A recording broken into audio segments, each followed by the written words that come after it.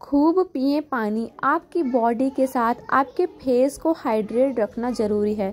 सुबह उठकर पानी पीने से ना सिर्फ़ आपकी पाचन की समस्या सही होगी, बल्कि आपके फेस पर भी पानी का ग्लो अलग ही दिखेगा। सुबह उठकर आपकी पानी पीने की आदत आपके फेस का ग्लो बढ़ा देगी।